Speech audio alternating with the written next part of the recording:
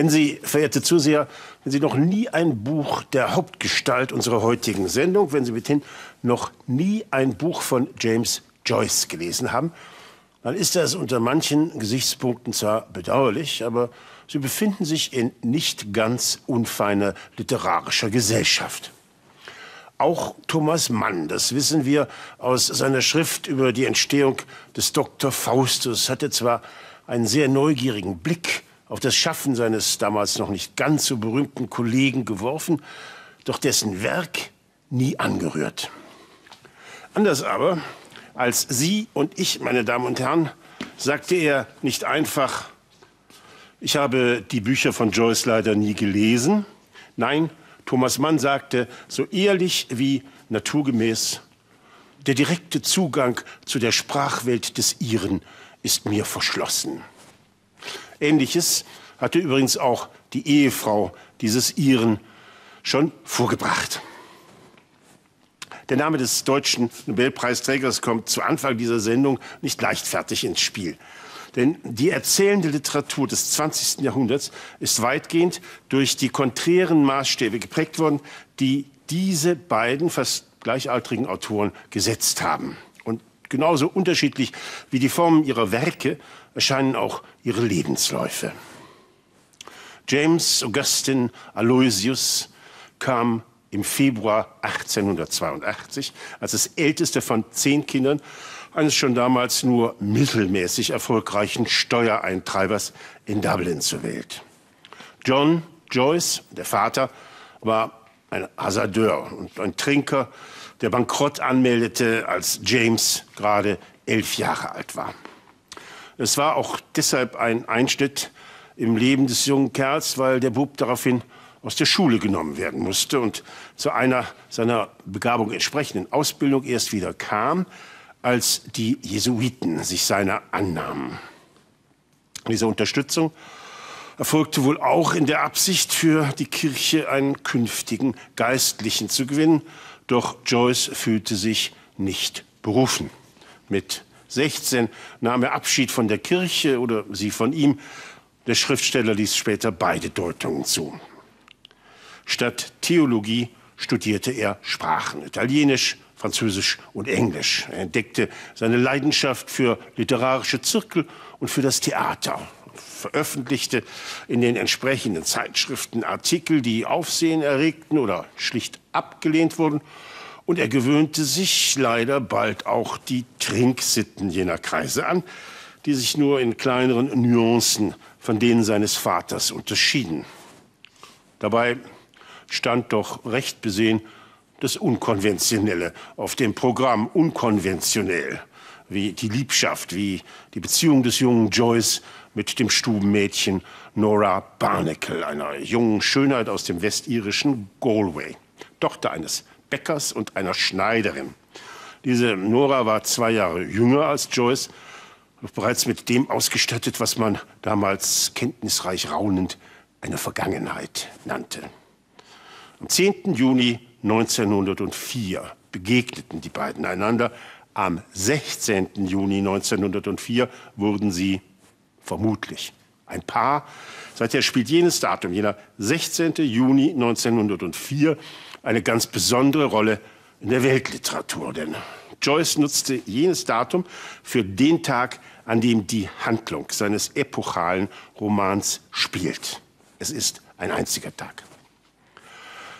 Warum wissen wir das alles so genau? Warum soll uns diese doch eher intim, dieses eher intime Detail zweier noch junger Menschen interessieren? Nun, einmal sehr direkt, weil Joyce seine Lebensgefährtin äh, sie heirateten erst knapp drei Jahrzehnte später, im berühmtesten seiner Romane, eben jenem Ulysses, zur Vorlage für die weibliche Hauptfigur nahm. Sie heißt dort Molly Blum. Und im letzten Kapitel dieses Werkes führt sie gänzlich ohne Punkt und Komma einen inneren Monolog, ein wildes Hin- und Herzuckendes Selbstgespräch, das als Meilenstein in die Literaturgeschichte eingegangen ist. Die Literaturwissenschaft redet hier von der Erzähltechnik des Bewusstseinsstroms. Der Leser wird gleichsam in den Kopf der erzählenden Figur hineinversetzt, verschmilzt gleichsam mit den Gedanken und Assoziationen etwa der Molly Bloom, scheinbar ganz ohne auktorialen, erzählenden Autor, der sich als regelnde Instanz einschaltet. Noch einen dritten Grund lassen Sie mich hier nennen, verehrte Zuseher. James Joyce war fast ein, ein, ein besessener Verwirrter von Details des täglichen Lebens und darin Thomas Mann übrigens nicht ganz unähnlich. Unzählig sind in seinen Büchern die offenen und die verdeckten Anspielungen auf das, was man reale Vorkommnisse nennen könnte. Verdeckt oft genug durch Wortspiele, witzige Verdrehungen, bisweilen auch Karlauer, die in der souveränen irischen Erzähltradition literarisch sehr viel höher geschätzt wurden als, sagen wir, hierzulande, wo sie ja eher als derb gelten. Der nicht für seine Heiterkeit geschätzte Duden spricht in diesem Fall von fadem Wortwitz. Zu jenen realen Vorkommnissen zählten übrigens genauso auch Leseerfahrungen aus Klassikern wie aus Tageszeitungen, die James Joyce an einem bestimmten Tag gemacht hatte oder an die er sich erinnert haben mochte. Kurz, für die Liebhaber des Nachtrüffelns, für Spürhunde, die an einem Roman auch beglückt, wenn sie herausfinden, dass nicht nur Molly einem realen Vorbild entspricht, sondern dass auch, sagen wir, der auf Seite X erwähnte Zeitungshändler O'Muffin tatsächlich identisch war mit einem Mann, dessen friesische Vorfahren rote Bärte trugen und Buchholz hießen.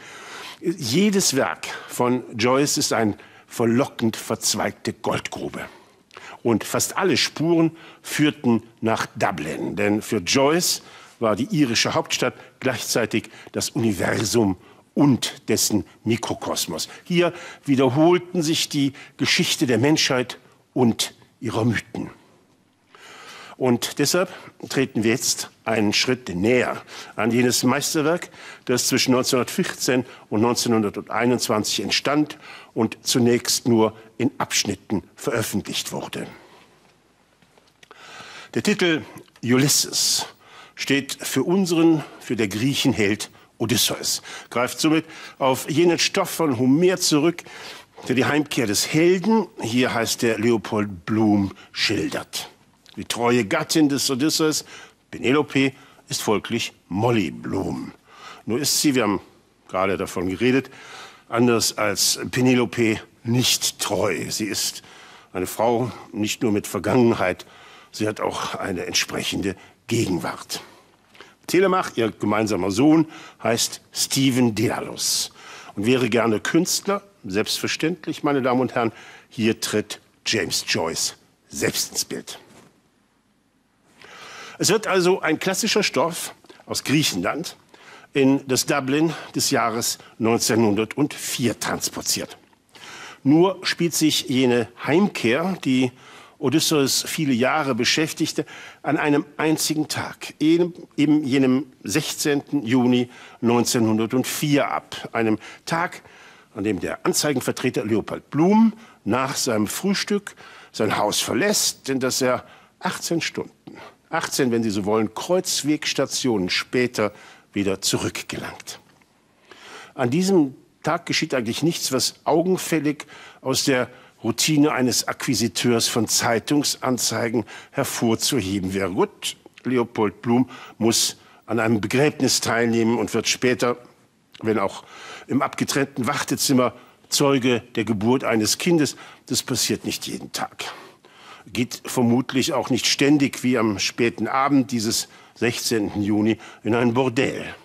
Doch für den Leser entsteht nie der Eindruck des Sensationellen, jedenfalls nicht, wenn er das Geschehen des Alltags aus der Sicht des Leopold Blum betrachtet. Dramatisch. Höchst dramatisch geht es aber zu, wenn der Blick auf die seelische Verarbeitung des scheinbar Trivialen fällt. Bei Joyce wird jede, gut, fast, fast jede Rührung der Seele zu einem kurzen Ausdruck, zu einer, ins Wort des wahren Sinne, Reflexion. Reflexion bedeutet ja einmal ein ganz spontanes Zurückwerfen, wie ein Licht, das reflektiert. Und es bedeutet auch ein kurzes Nachdenken. Es geht also um den Instinkt wie um den Verstand.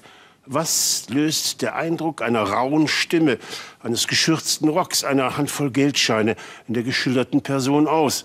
Was das Schnarchen des Gatten, der Schrei einer Gebärenden, der Blick der Madonna oder die Feuchtigkeit nach der Selbstbefriedigung.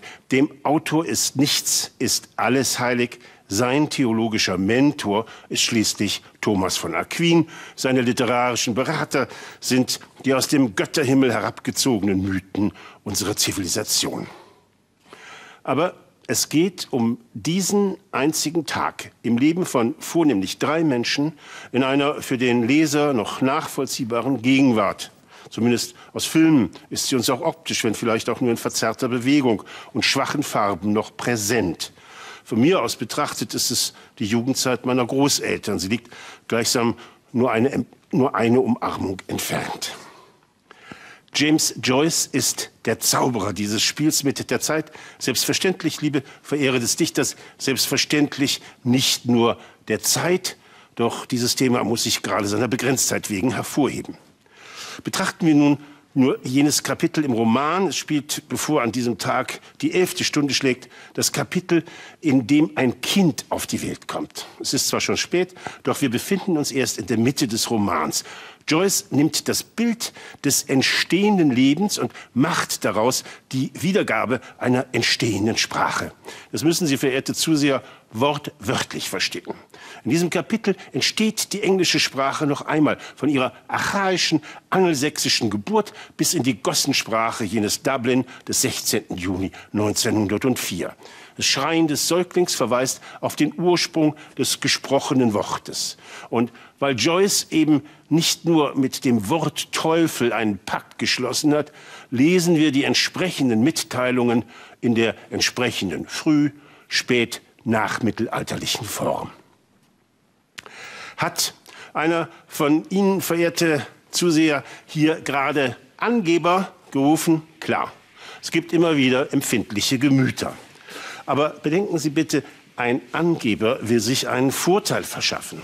Joyce aber verschaffte sich durch seine erzählerische Radikalität, durch seine unbändige Wortanarchie, durch das Verspotten gerade jener, die verwegen genug waren, Angeber zu rufen, keine Freunde, kein Publikum, das ihm der Notwendigkeit enthob, seinen Lebensunterhalt mit Sprachunterricht zu bestreiten.